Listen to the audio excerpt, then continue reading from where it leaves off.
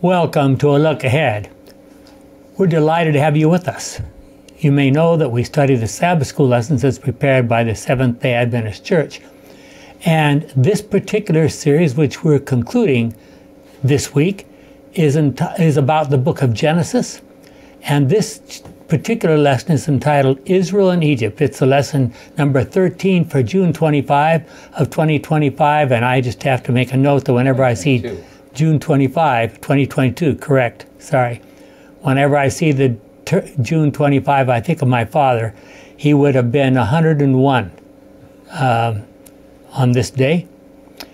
Uh, let's begin with the word of prayer as usual. Our kind and wonderful Father, we have really enjoyed the challenge of trying to understand better the book of Genesis. We know that there are so many people who have questions about it, don't believe it, think that there's all sorts of problems with it. But we find inspiration here, we find excitement, we find the patriarchs there that have done such a wonderful thing of living in cooperation with you. May we follow their example in our day, is our prayer in Jesus' name. Mm-hmm. Amen. In this lesson, we're going to note several major themes the blessings of Jacob, and they point to unquestionably to the coming of the Messiah to be born in the line of Judah.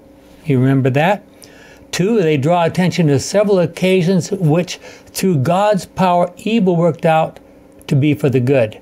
Think of the selling of Joseph into Egypt by his brothers. Who could have guessed that that would eventually become, through that, he would eventually become the savior of his family, as well as providing the physical salvation for that part of the world? The prophecies of Jacob pointed to the end of time and to the blessings that the descendants of Jacob, Israel, would bring to the entire world through their production of the Bible and spreading of the plan of salvation.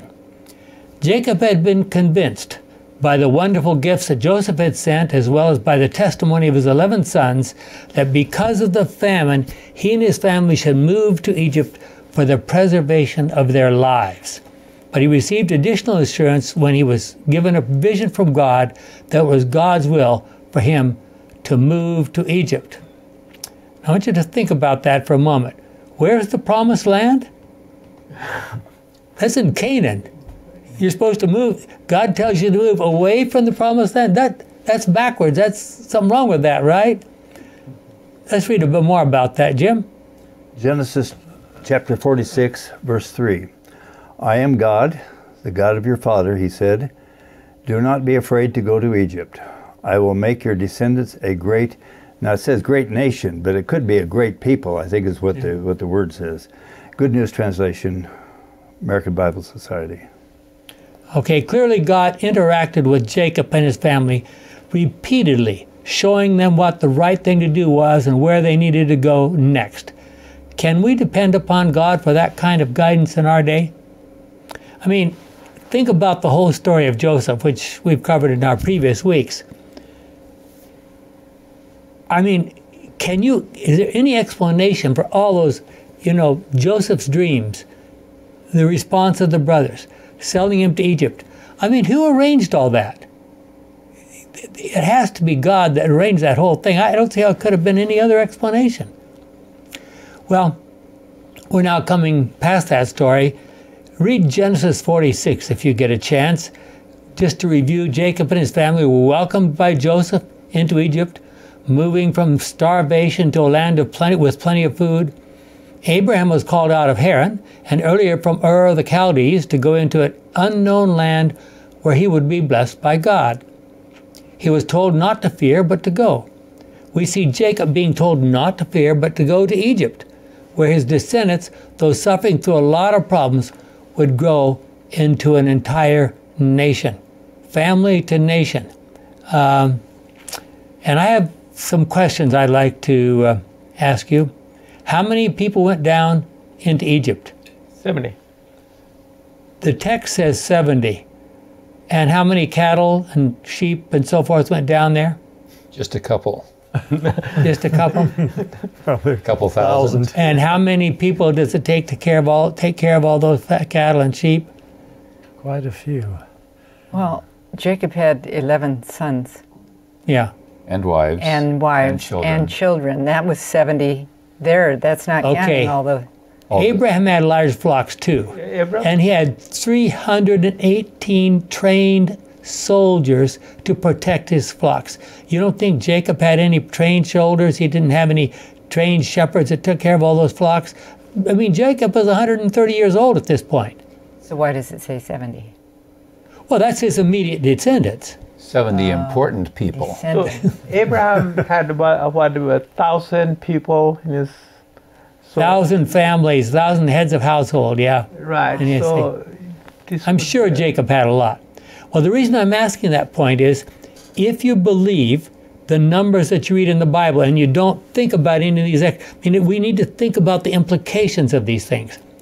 Someone did some calculations. There are four generations from the time that the family went down into Egypt until the Exodus.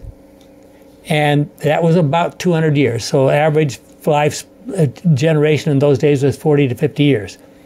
Okay, when they by the time they left Egypt, the men counted six hundred thousand, which we estimate that if you count women and children, that's somewhere close to two million. So someone did their little mathematics and figured out in order for it to go from 70 to 2 million in four generations, every woman would have to have 57 children. Myra, are you up to that? Not quite, huh? So, so the point is, Six there were a lot. I am sure there were a lot of other people who went down to Egypt with Jacob and his family. So you say a generation was about 40 years then, but it, it changed dramatically from Jacob to his children. Which some of them it sounds like they got married before they were 20 and right. had grandchildren Yeah. well, you know, at a very young age. So there may be a lot more generations than four. Well, except that when you get to, when we get over to Exodus, when you start talking about Moses and Ab- and and Aaron, it says they're in the fourth generation. So that's, I mean, I, I'm, I'm, I'm, the point is, there's a whole lot of people somewhere that um, we don't normally think about. A comment and a quick question. Uh, we also know that it was a mixed multitude, a lot of Egyptians. That went out. Right, right. So Yeah. that's one thing to remember. They were convinced that uh, these were the people they wanted to be with. Uh, but didn't that dream and uh, remember the uh, Abraham falls asleep and he has that dream and this, you're going to be.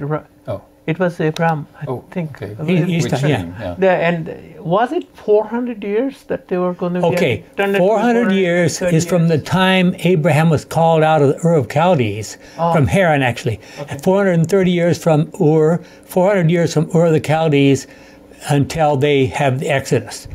To, the time, it was about 215 years until they went down into Egypt, and then 215 more years by the time they, they left Egypt. Ah, so, So they th- were actually in Egypt for 215 years then. Now it gets a little confusing because in those early days, Canaan was under the control of Egypt. Egypt was the most powerful nation in the world in those days. So you could go into Canaan and still be said, okay, I went down to Egypt. But of course, we think Egypt, you know, you got to be actually down into Africa. So, So Egypt perhaps was the first world Yeah. power, then came Assyria, and Yeah. then uh, Babylon. Da, da, da. yeah, Okay. yeah. Yeah. Okay, so uh, extra little sidetrack there. There are interesting subtle links in the scripture between the fact that Jacob had 70 descendants into Egypt, going into Egypt, including the family of Joseph who were already living in Egypt, and the 70 nations that were ultimately the descendants of Noah's three sons in Genesis 10. All people on this earth were to be blessed by God's work through the Hebrew people. So now, you've probably noticed in this series of lessons that we, the one who wrote these lessons, was big into Hebrew, and he noticed linkages in, in the Hebrew language, which we we don't we don't get in the translation, but there are things like this as an example. Um, okay, who's got Genesis forty six verse seven there? Um, Genesis 46 7.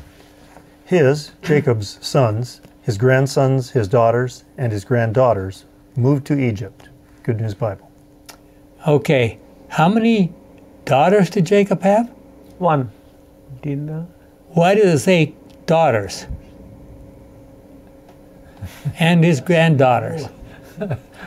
Maybe there were some unnamed grand or daughters, or maybe They would have been named in that family. They would have been named. or maybe it includes all women. Yeah. yeah. Anyway, through the descendants of Jacob, Israel, and the knowledge of the salvation of man, the, the knowledge of the salvation of man was spread. It was not just for the children of Abraham or Israel to be blessed, but also for all the world. And we have several verses that point that out. Carrie? um, quoting from Romans chapter 10, verses 12 and 13. This includes everyone because there is no difference between Jews and Gentiles. God is the same Lord of all and richly blesses all who call to him. As the scripture says, everyone who calls out to the Lord for help will be saved. And that's from the Good News Bible. And Galatians 3 28 to 29. So there is no difference between Jews and Gentiles, between slaves and free people, between the men and women. You are all one in union with Christ. I'm going to interrupt you there for a second, uh, Charles. Do you remember the famous? This is who, who wrote this passage Paul. in Genesis 3? Who was Paul? Genesis 3, uh, Galatians 3. Galatians. Yeah. Who, who was Paul? That's- What uh, what Paul is known Benjamite. back in his early days he was a what? Pharisee, Pharisee. of the Pharisees. Pharisee of the Pharisees. Do you know what the Pharisee prayer was every morning? Thank God that I am not a woman or a, a Gentile, a slave, or a woman. Yes. Yeah, I'm not sure what the order was. I think it was that order. Exactly. Exactly. And what's he saying here? There's no difference between men and women. no difference between slave and free. That's a change of heart. Wow. The Paradigm gospel shift. gospel did something to him, right? If you belong to Christ, then you are the descendants of Abraham and will receive what God has promised. Good News Bible. So we've been we've been talking about the descendants of Abraham, well, actually the descendants of Jacob, who are descendants of Abraham, and now Abraham. I mean, Paul says that's all of us. Mm. It might seem counterintuitive for Jacob to leave the land of promise, all of which had been promised to his grandfather, to go into the land of Egypt, which we realize became a land of captivity and slavery for the Israelites. However, it is important to realize that if the family of Jacob slash Israel had remained in Canaan or had intermarried with the Egyptians, they would have faded into one of those groups. If either had happened, we would never have heard of the Israelites. We, that's, a, that's a major point that I, I don't think we really talk about. So, would the Bible have ever come about? Would Jesus ever have come Probably first not. time? It would have been very different to what it was.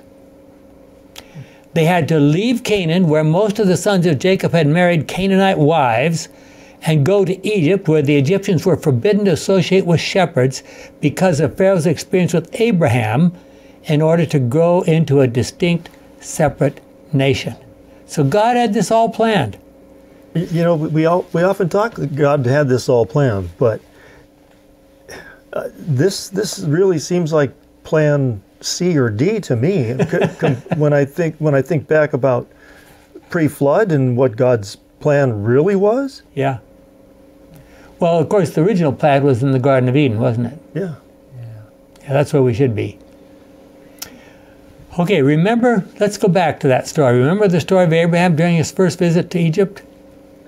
The Lord, in His providence, had brought this trial upon Abraham to teach him the lessons of submission, patience, and faith, lessons that we were to, that were to be placed on record for the benefit of all who should afterwards be called to endure aff- affliction. God leads His children by way that they they not they know not, but He does not forget or cast off those who put their trust in Him. Abraham, Abraham had been greatly favored by the king. Even now, Pharaoh would permit no harm to come to him or his company, but ordered a guard to conduct them in safety out of his domains. At this time, laws were made prohibiting the Egyptians from intercourse, interaction, intercourse or interaction with foreign shepherds in any such familiarity as eating or drinking with them. Does that remind you of anything we've been Yeah. studying the last few weeks? Yeah. Joseph sits over there, pretends like he speaks only Egyptian. His sons are sitting over there, and he, he's understanding perfectly well everything. They, and then there's inter- interpreters over here. Um, wow. Pharaoh's dismissal of Abraham was kind and generous, but he bade him leave Egypt, for he dared not permit him to remain. He had ignorantly been about to do him a serious injury, but God had interposed and saved the monarch from committing so great a sin. Pharaoh saw in this stranger a man whom God of heaven honored, and he feared to have in his kingdom one who would so evidently so was so evidently under divine favor. Okay, I'm going to interrupt for a second now. Pharaoh claimed to be what? God. God. God. So why is he worried about somebody who has real connections with God? Well, there was a God more powerful than him. Oh boy, we got a conflict here, right? Well, uh, very quickly, uh, uh, the uh, Lake Gennesaret, you know, mm-hmm. people living around believed that the wind and the waves were gods. And mm-hmm. here is a man who is asleep and wakes, stands up and says, "Peace be still." And then the mm-hmm. disciples said, "What?" Yeah. So they realize that these people here believe that uh, this is this is God, and here is someone we we're in His presence who is stronger than. And I have a feeling that the winds on that particular occasion were not just ordinary winds. There was someone who would have loved to drown everybody in that boat. Yes. the devil was busy working. I'm sorry, Myra, go ahead. Uh, I, well, I have to remember where I was. Should. Um, should Abraham remain in Egypt, his increasing wealth and honor would likely to excite an, the envy and covetous, covetousness of the Egyptians, and some injury might be done to be done him, for which the monarch would be held responsible, which might again bring judgments upon the royal house. Patriarchs and Prophets, page 129, paragraph I am- 2.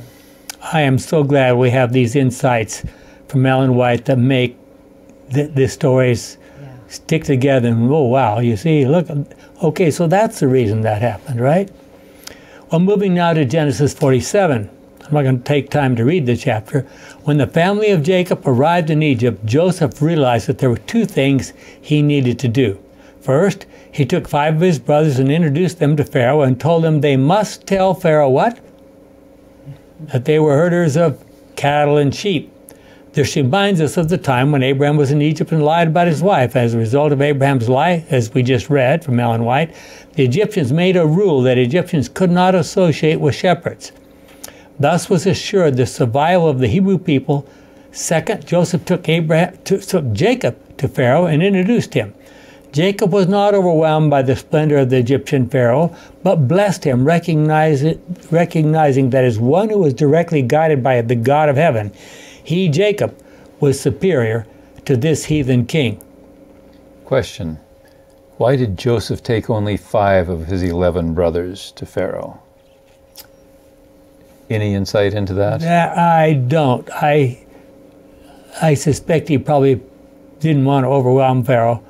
Number one, he probably should pick the five most appropriate ones, and the ones he thought were best. I, I've wondered about that one as well. He probably did not take Simeon there. Probably not. Why not? Yeah. Just because he tried to kill him. So, so from Ellen White, Patriarchs and Prophets, Joseph took five of his brothers to present to Pharaoh and receive from him the grant of the land for their future home. Gratitude to his prime minister would have led the monarch to honor them, that is, the brothers, with appointments to offices of state. But Joseph, true to the worship of Jehovah, sought to save his brothers from the temptations to which they would be exposed at a heathen court. Therefore, he counseled them, when questioned by the king, to tell him their occupation frankly. The sons of Jacob followed this counsel, being careful not being careful also to state that they had come to sojourn in the land, not to become permanent dwellers there, thus reserving the right to depart if they chose. The king assigned them a home as offered in the best of the land, the country of Goshen. Patriarchs and Prophets 233, paragraph 2. Okay, why was Goshen the best of the land? This delta area, The Delta area, what does that mean? It's watered. very fertile. It's watered, but that's Soil. not that's not all. The soil, the soils come all the way from Ethiopia and Kenya and Tanzania and Burundi and Rwanda and a little bit of Congo and Uganda all the way all the way down here. Nice topsoil. There had to have some been some migration as well. People who are living there, they had to leave, so that these new people could. Probably, yes, very likely. Well, Jacob chose to bless Pharaoh for the way he treated his family. It also meant that Jacob recognized his superiority to that heathen king. And what about us? Are we not supposed to be a royal priesthood, a holy nation, his own special people? So if we go, if we go to Congress, we should be able to raise our hands and bless them, right? Absolutely. Think about that one. Joseph had made arrangements for- the country of Egypt to store an enormous amount of grain. It was purchased and stored at a time when it was very cheap during those years of plenty. Later, he sold it back to the Egyptians at a much higher price and eventually required all the Egyptians to sell their land and themselves to Pharaoh in order to buy food. Meanwhile, the children of Israel were growing and becoming a nation. Then we move next to Genesis 49, first 28 verses. As Jacob approached the end of his life of 147 years, Jacob blessed his sons one by one. Um, and I think we have time to read at least a part of that. Um, Jacob called for his sons and said, Gather round, and I will tell you what will happen to you in the future. Now, where did he get that information? from the Lord. Yeah, dream. Must be. Come together and listen, sons of Jacob. Listen to your father Israel. Reuben, my firstborn, you are my strength and the first child of my manhood. The proudest and strongest of all my sons, you are like a raging flood, but you will not be the most important, for you slept with my concubine and dishonored your father's bed. Simeon and Levi are brothers. They use their weapons to commit violence. I will not join in their secret talks. No, I take part of their meetings. You remember that story, right? They killed in anger, and they crippled bulls for sport. They're the Shechemites. They wanted to be a part of the Israelites. They were circumcised, and then Simeon and Levi showed up while all the men were hurting. And yet Levi's sons or descendants became the priests, Yep.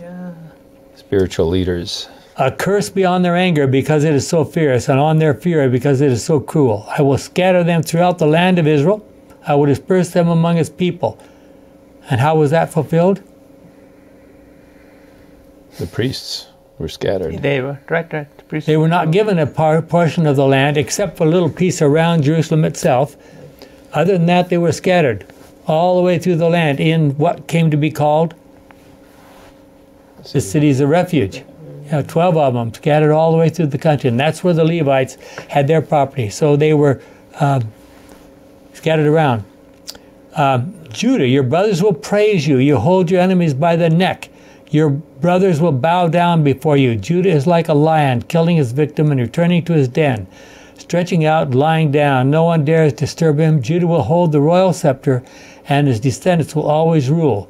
Nations will bring him tribute and bow in obedience before him. And I'm gonna, I'm not gonna read any more than that. Um, but that's the important part we're gonna talk about. He the- The scepter shall not depart from Judah until the Shiloh comes. So that was the promise. and what happens after Shiloh comes? And to and to him the gathering of the people will be Shall be, and he's going to rule for how long? forever. Forever. That's right.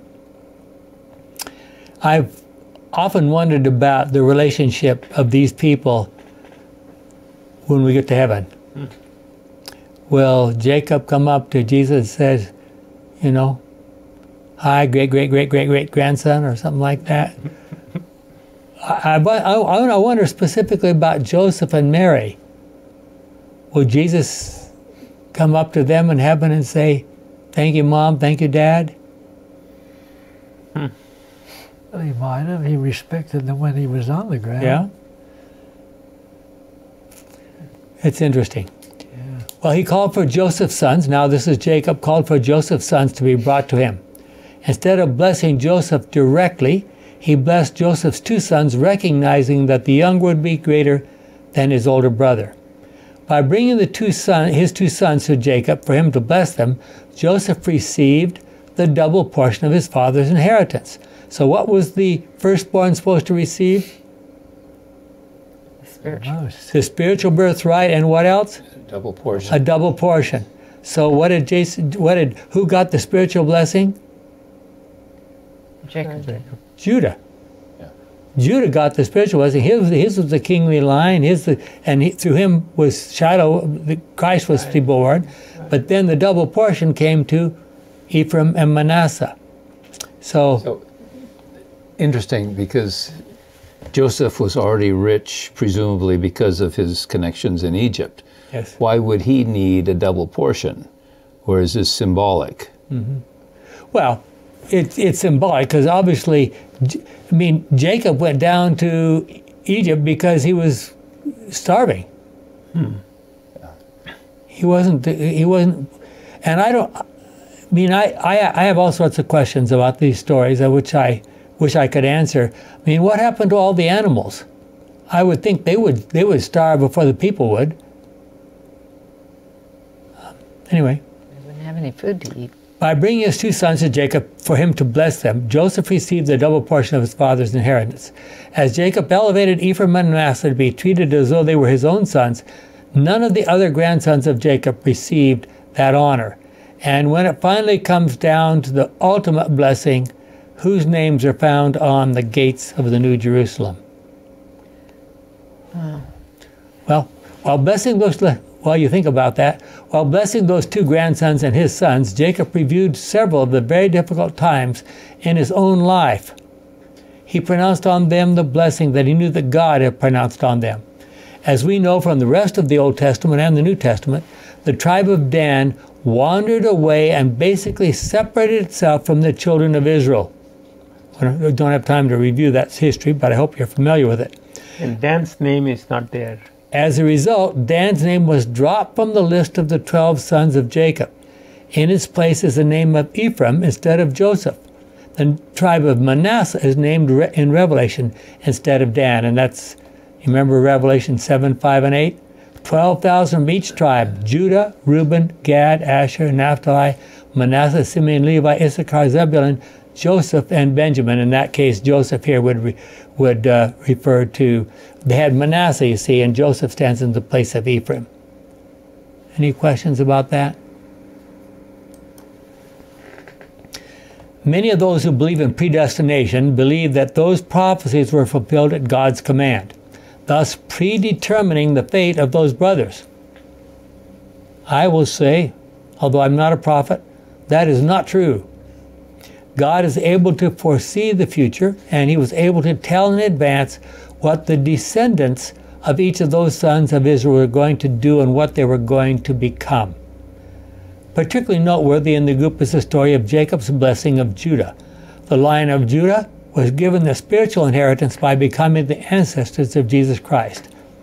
Why did Judah receive that blessing, of becoming the future king line, kingly line as opposed to Joseph?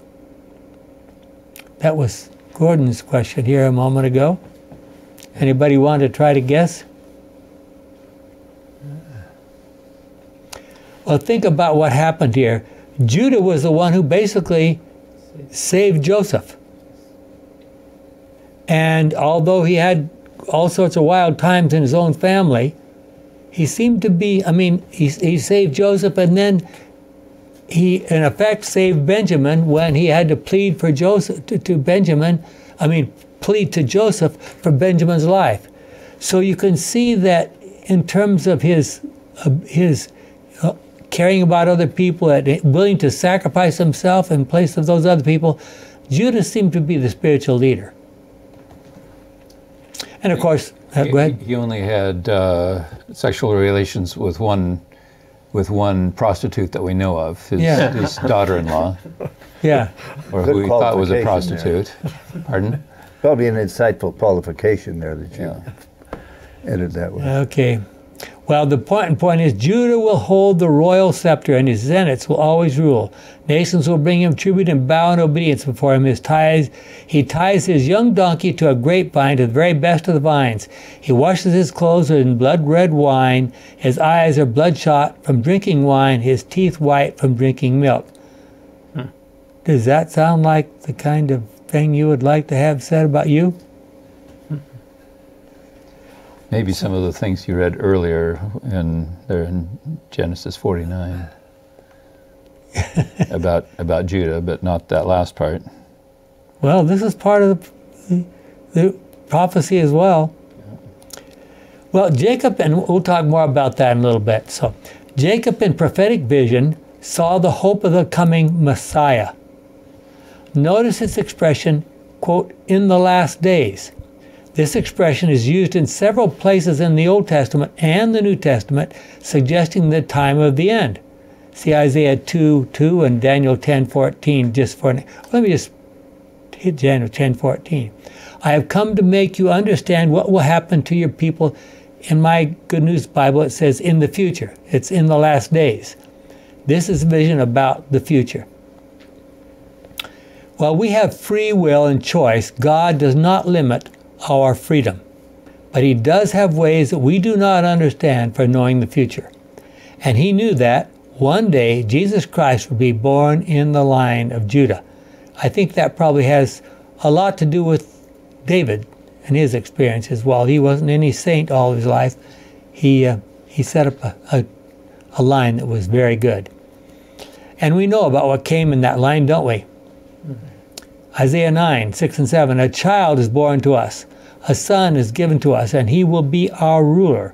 He will be called Wonderful Counselor, Mighty God, Eternal Father, Prince of Peace. His royal power will continue to grow. His kingdom will always be at peace. He will rule as King David's successor, basing his power on right and justice from now until the end of time. The Lord Almighty is determined to do all this. Okay? So, who is that, of course? Jesus. Yeah, Jesus, very much so. But this promise included more than just the arrival of our Savior and Redeemer, Jesus Christ. The first time, it extends down through all eternity and including what we read in Philippians 2 10 and 11. Jim? So, in honor of the name of Jesus, all beings in heaven, on earth, and in the world below will fall on their knees, and all will openly proclaim that Jesus Christ is Lord, in, to the glory of the God of the Father. Good News Bible. Okay. Now, I, this is a very important verse, so we don't have time to explain it in all details.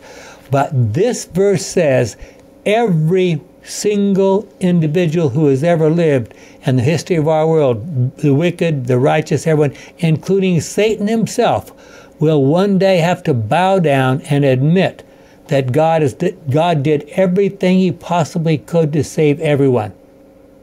It's not that they'll be required to, it's that they, because Choose of, to. that they are convinced that they, that this is true. The evidence will be compelling.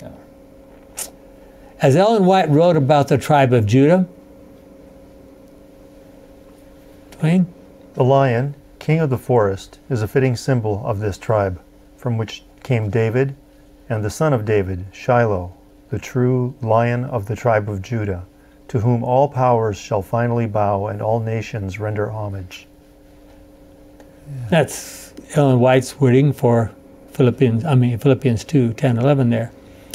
It is interesting to note that Jacob's blessing of his children is the third time in the book of Genesis that a blessing was addressed to an entire group of people. Now, the entire group of people wasn't always a huge, lar- large group. The blessing God gave to Adam and Eve at their creation. So there's a group of two. The blessing given to Noah's three sons, outlining their future um, destinies. And three, Jacob expressed his blessings for his children. So we have groups of two, group of three, and a group of 12. The first blessing to Adam and Eve was to 100% of the people that were there That's right. On the The entire earth. population of the earth. That's right. What about Dinah? Didn't she get a blessing? Hmm. Okay, well, we're living in patriarchal, patriarchal times, aren't we? In the midst of those blessings, he blessed Judah, saying that a scepter, a lawgiver, would not depart with, from his descendants for all time. This, of course, can only refer to the fact that at the second coming of Jesus, he will become the king who rules the university, the university, the universe for eternity. Sorry, I'm so used to thinking of university. The descendants of Jacob will include one to whom all the nations of the world will come and give obeisance. So, why was Judah's descendant capitalized, described as riding a donkey? Horses were offensive weapons for military conquests. Donkeys were for kings to ride upon. Hmm. Carrie? Reading from Zechariah chapter 9, verses 9 and 10. Rejoice, rejoice, people of Zion. Shout for joy, your people. No, you people of Jerusalem. Look, your king is coming to you. He comes triumphant and victorious, but humble and riding on a donkey, on a colt, the foal of a donkey. The Lord says, I will remove the war chariots from Israel and take the horses from Jerusalem. The bows used in battle will be destroyed. Your king will make peace among the nations. He will rule from sea to sea, from the river Euphrates to the ends of the earth. Good News Bible. Okay, so who's that one that was riding on the donkey? And this is how it happened. Charles? Yep. Um, just before that, this is shortly before he went to the cross. Yes. Shortly before he went to the cross. Yeah, Mark- Jesus, Jesus and his disciples with a whole lot of a huge gang of people on Friday cl- climbed up that road from Jericho to Jerusalem, and then Saturday night there was that Yes. meal, Meal. and then Sunday morning Hang on the that cross. triumphal entry. Yes. Right. Yes, and um, and there were thousands and thousands of people from all over the world in Jerusalem at that time because Passover feast. So they watched this happen. And they were waiting for what to happen? For Jesus to be crowned. For Jesus to be crowned king. That's right. Save them from Mark 11, 1 through 11. Jesus sent two of his disciples on ahead with these instructions Go to the village, they're ahead of you. As soon as you get there, you will find a colt tied up that has never been ridden until it and uh, untie it and bring it here.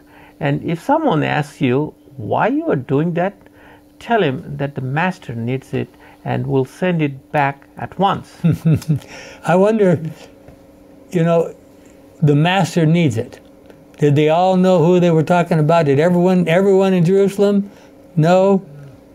And think about the owner, because he thought, I'm sure he thought, okay, the king is going to ride my donkey. Yes. Yeah. They went and found a colt out on the street and tied to the door of a house. As they were untying uh, it, someone of the bystanders asked them, What are you doing untying that colt? They answered just as Jesus had told them, and the bystanders let them go. They brought the colt to Jesus, threw their clothes on it, the animal, and Jesus got on. Many people spread their cloaks on the ground on the road, while others cut branches in the fields and spread them on the road. The people who were in front of those who followed behind the uh, began to shout, "Praise God! God bless him who comes in the name of the Lord! God bless the coming kingdom of King David, our Father! Praise God!" Jesus entered Jerusalem, went into the temple, and looked around, round at everything. But since it was already late in the day, he went out to Bethany with the twelve disciples. Good News Bible. Well, we need to honor and worship Jesus Christ because he is our creator and redeemer. But not only that, but also he wants to be our friend for the rest of eternity. We will bow down to him and cast our crowns before him because that kind of power combined with that kind of humility and friendship is truly divine. There's no other place where you can find that kind of combination. It is interesting to notice as we come to the end of the book of Genesis that both Jacob and Joseph commanded the, their descendants and their associates to take their remains to the land of Canaan, because that was the land of promise. Even though they were at that point in time in Egypt, they looked forward to being returned to Canaan and saw it as the land where the New Jerusalem would come down to this earth and God would rule the world forever. It's also interesting to notice that Jacob's bones were taken to Canaan and buried without mention of a coffin. And who went up there to bury his bones? You remember? I think all the sons, didn't they? Although I think all the sons plus a whole lot of Egyptian dignitaries. It was a huge gathering. Carry the bones of, jo- of Jacob up there at 147 years old. Was this cave of Machpelah by any chance, or was it Yeah, no, where Abraham and others were? yeah, cave, cave of Machpelah. By contrast, Joseph's embalmed remains, now, of course, as a high level Egyptian official, he would be carefully embalmed, um, were kept in a coffin until he was carried to Canaan without mentioning any grave. And who carried him up to Canaan?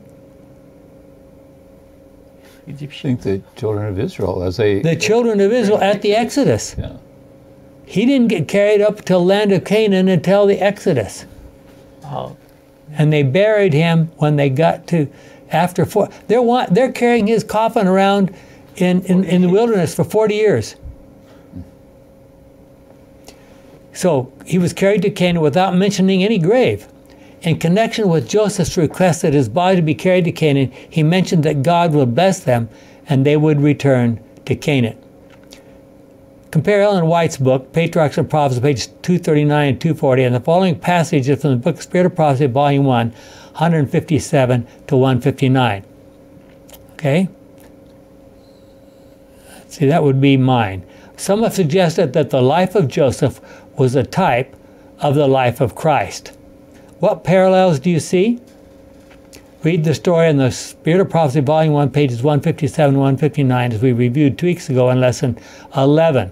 So let's just look at those again. I think this is a wonderful summary of Joseph, the Jacob and Joseph story. Joseph illustrates Christ. Jesus came to his own, but his own received him not. He was rejected and despised because his acts were righteous and his, his consistent self denying life was a continual rebuke upon those who professed piety, but whose lives were corrupt. Joseph's integrity and virtue were furiously assailed, and she, Fiercely. Yeah, Fiercely. right. and she, Potiphar's wife, who would lead him astray, Who wanted who, to leave him, basically. who would yeah. lead him astray, could not prevail. Therefore, her hatred was strong against the virtue and integrity which she could not corrupt. She testified falsely against him. The innocent suffered because of his righteousness. He was cast into prison because of his virtue. Spirit of Prophecy, Volume 1. So here we see Joseph was arrested and suffered because he was faithful, and so was Jesus. Okay? So now, we notice again Joseph was sold to his enemies by his family. Jesus was betrayed for money by one of his disciples. And from Spirit of Prophecy, same page, in paragraph 157, Joseph was sold to his enemies by his brethren for a small sum of money. The Son of God was sold to his bitterest enemies by one of his own disciples. for just about the same amount of money. Hmm. Wow. Jesus was humble and meek and he refused to use his power to fight his enemies. I mean, what remember the statement that Jesus made? I could call 12 legions of angels right now, right? Joseph humbly served God in whatever place he found himself. Back to Ellen White again. Jesus was meek and holy. His life was, his was a life of unexampled self-denial, goodness, and holiness. He was not guilty of any wrong, yet false witnesses were hired to testify against him. He was hated because he had been a faithful reprover of sin and corruption. Same Ibid, Spirit of Prophecy, Volume 157. So Joseph and Jesus were both stripped of their coats. Joseph's brethren stopped, excuse me, stripped him of his coat of many colors. The executioners of Jesus cast lots for his seamless coat. Ellen White, Spirit of Prophecy, Same Volume place. 1, page 157. Joseph's brothers wanted to kill him, but finally sold him as a slave because they were jealous of him. The Jewish leaders arrested Jesus and arranged for his trial and crucifixion because they were jealous of his miraculous powers and his influence with the people.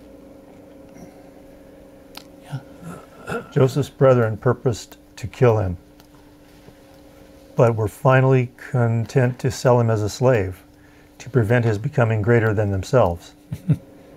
they thought they had placed him where they, they would be no more troubled with his dreams and where there would be no possibility of their fulfillment. But the very course which they pursued, God overruled to bring about that which they designed never should take place, that he should have dominion over them. Amazing. Go ahead, Gary. Okay. The chief priests and elders were jealous of Christ that he would draw the attention of the people away from themselves to him.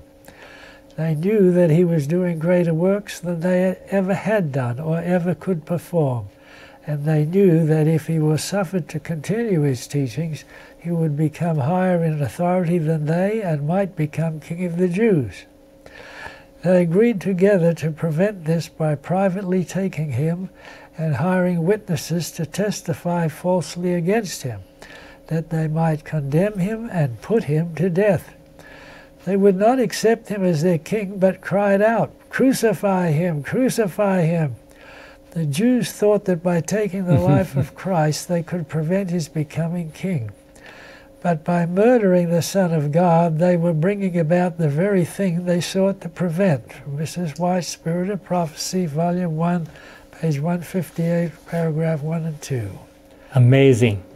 Despite the terrible treatment that both Joseph and Jesus received, each rose to take the preeminent position that God had planned for him and then capital him. In neither case did it lessen the guilt of those responsible. Charles? Joseph, being sold by his brethren into Egypt, became a savior to his family's father's family. Yet this fact did not lessen the guilt of his brethren. The crucifixion of Christ by his enemies made him the redeemer of the man, of mankind, the savior of the fallen race, and ruler over the world, whole world. The crime of his enemies was just as heinous as though God's providential hand had not controlled events for his own glory and the good of man. Ellen White, Spirit of Prophecy, Volume 1, page 158, paragraph 2. Despite everything that Satan could throw at them, neither Joseph nor Jesus could be persuaded to depart in the least manner from his cap his walk with God. In the end, both graciously forgave those who had done them wrong. Continuing on in Spirit of Prophecy, page 159. Joseph walked with God. He would not be persuaded to deviate from the paths of righteousness and trans- transgress God's law by any increments or threats. Inducements. Inducements, sorry. And when he was imprisoned and suffered because of his innocence, he meekly bore it without murmuring. His self control and patience in adversity and his unwavering fidelity were left on record for the benefit of all who should afterward live on the earth.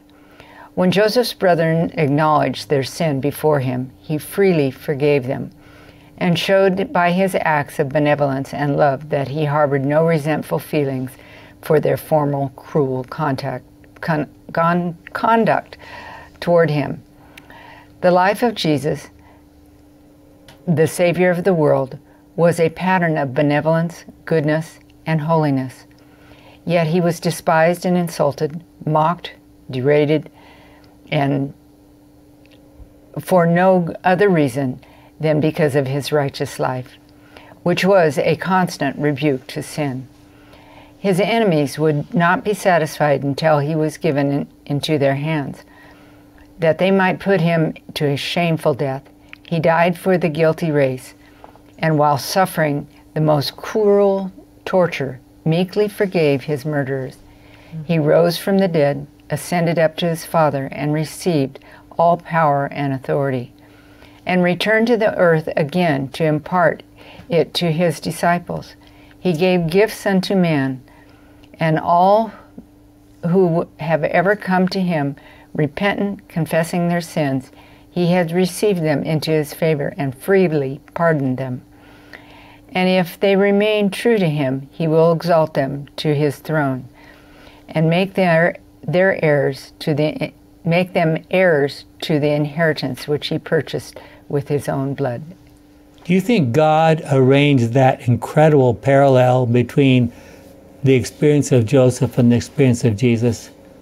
I mean, what a Yeah. just boom, boom, boom, boom, right down through that story. But Joseph chose to follow.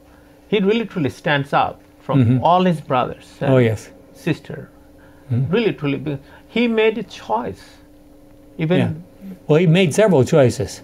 that's right, but he made a choice to follow the instructions that he was given. Yeah. Yeah. So, why do you think the brothers of Joseph were so worried about what would happen to them after their father died? Did they have any reason to be worried about the behavior of Joseph himself? Or did they just feel guilty? Some people Yeah, have a lifetime of guilt. Some people have suggested the book of Genesis can be summarized by reading the first five words and the last four words. In the beginning, God created a coffin in Egypt. This certainly represents the story of the entrance of sin to this earth. But the messages we have already seen in this lesson suggest that God will turn evil into good.